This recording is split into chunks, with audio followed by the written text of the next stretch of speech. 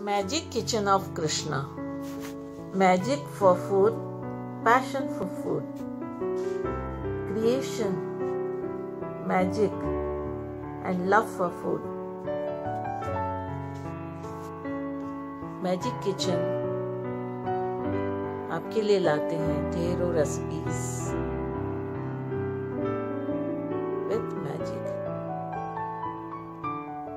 Hello friends आज हम आपके लिए लेकर आए हैं special healthy baati spinach baati and churma जिसे हम दाल के साथ सर्व करेंगे।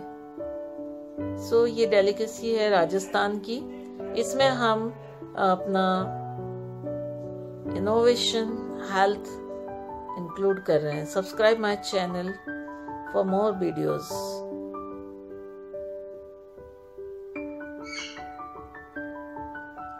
hello friends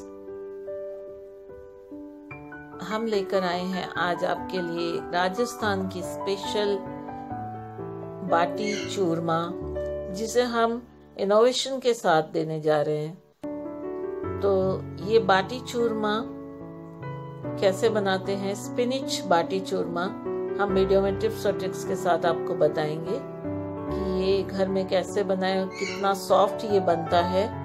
और कितना हेल्दी होता है। Subscribe my channel bell icon ज़रूर दबाइएगा और अच्छा लगे तो शेयर ज़रूर कीजिएगा।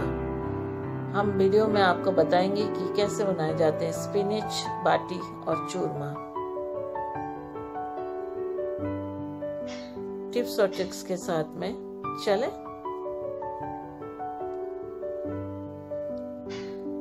तो फ्रेंड्स यहाँ पर हमने लिया है स्पिनिच पालक तो इसे हम अच्छे से काट लेते हैं और इसका जड़ वाला पोर्शन निकाल देते हैं और इसे अच्छे से वॉश कर लेते हैं। बहुत ज़रूरी है, क्योंकि पालक में मिट्टी होती है बहुत ज़्यादा तो उसे वॉश करना बहुत ज़रूरी है। तो हम इसे वॉश कर लेते हैं अच्छे से। ये देखिए, हम पालक को अच्छे से वॉश कर लिया, हमने चार पाँच बार वॉश किया। अब इसे ब्लांच करेंगे तो ये गरम उबलते हुए पानी में हम इसे डाल रहे हैं। और सिर्फ़ एक मिनट से कम समय में, यानी तकरीबन 30 सेकंड में हम इसे निकाल लेंगे और ठंडे पानी में डाल देंगे।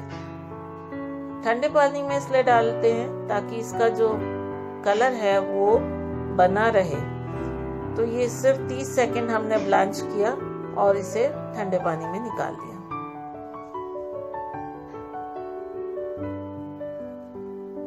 देखिए, ये हमने निकाल दिया तो सारे पालक हमने इसी तरह से ब्लांच कर लिया है। अब इसे हम ग्राइंड कर लेंगे बिल्कुल स्मूथ पेस्ट में।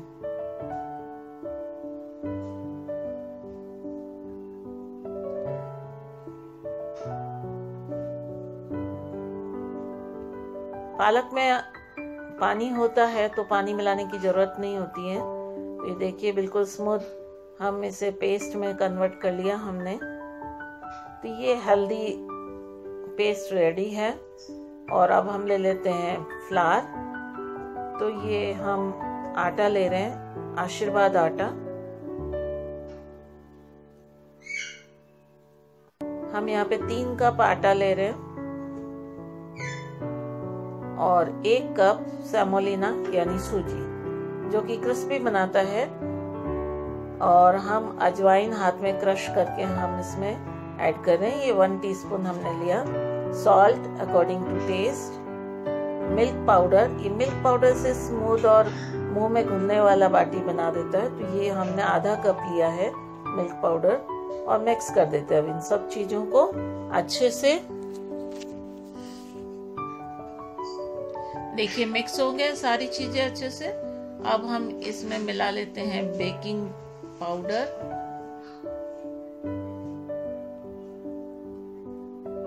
हम मिक्स कर देते हैं इसमें अच्छे से। और अब हम इसमें डाल देते हैं 100 ग्राम बटर और इसको अच्छे से हम मिक्स कर लेंगे इसमें। देखिए बटर मिक्स हो गया, ये अच्छे से क्रम्बल हो गया है बहुत अच्छे से।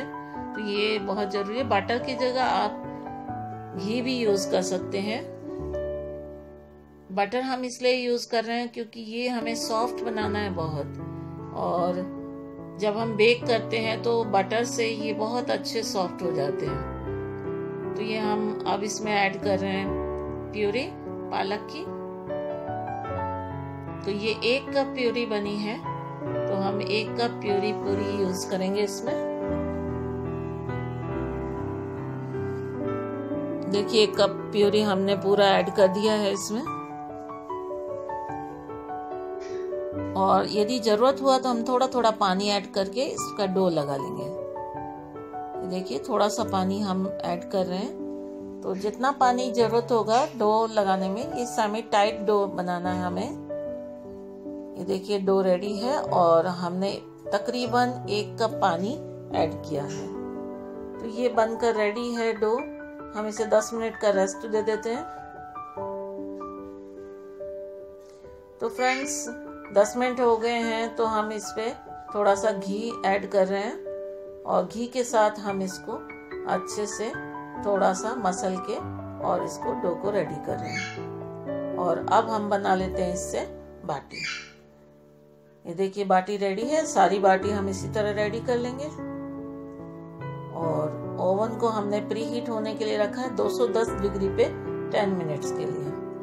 ये देखिए बाटी बिल्कुल रेडी हो गई है बनकर। और ओवन में हमने ट्रांसफ़र कर दिया है और ओवन को 210 डिग्री पे हम सेट कर रहे हैं 45 मिनट्स के लिए। तो देखिए फ्रेंड्स 45 मिनट्स हो गए हैं और ये बाटी फट गई है। दैट मीन्स ये बेक है।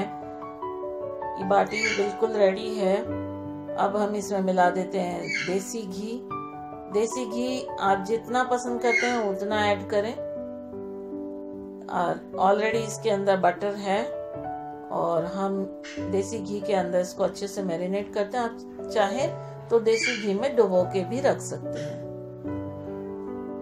तो हम हेल्थ वाइज थोड़ा कम घी यूज़ कर रहे हैं। अब एक बाटी को हम हाथ से चूर के कर लेते हैं, मिला लेते हैं, उसमें डाल लेते हैं कैस्टर शुगर ये कैस्टर शुगर ना हो तो आप चीनी को पीस कर आप बना सकते हैं। और इसके साथ में इसको मिक्स कर देते हैं अच्छे से। और इसमें ऐड कर लेंगे घी। और इसको वापस हम अच्छे से मिक्स कर देंगे। आप चाहें तो ये आ, मिक्सी में भी पीस सकते हैं तो ये इसी तरह से अच्छा लगता है जब आप हाथ से चूर के बनाते हैं। साथ में हम थोड़ा सा केवड़ा वाटर ऐड कर दिया हमने। तो ये देखिए चूरमा रेडी है हमारा। तो लीजिए फ्रेंड्स ये स्पेशल चूरमा आप दिवाली पर ज़रूर बनाइए। ये स्पिनिच बाटी है और स्पिनिच बाटी से बना हुआ यमी चूरमा और साथ में थ्री मिक्स दाल है। तो साथ में है मिर्च के टिपोरे। तो फ्रेंड्स ये ज़रूर बनाइए। राजस्थानी डेलीकेसी बाय शेफ सोना एक इनोवेटिव रेसिपी